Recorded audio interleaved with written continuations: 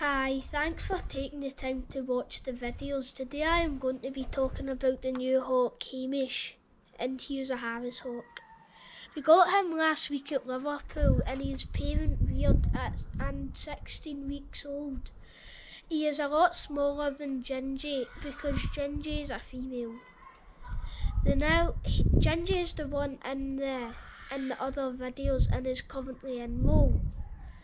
Uh, Hamish, he was in the manning process and it's going really well. He's just started eating and now he's jumping to the fist and eating off the fist. Uh, we are trying to, to get the two hawks used to each other so they can fly together and hunt together.